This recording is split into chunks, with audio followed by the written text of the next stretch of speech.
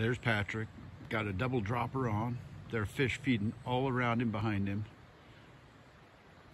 Let's see what happens. Let's see if we can catch a couple of them feeding behind him. They were all feeding just to the right of him and behind him. Time to put on a caddis. Or a pale drake olive. See that shit? Right behind him.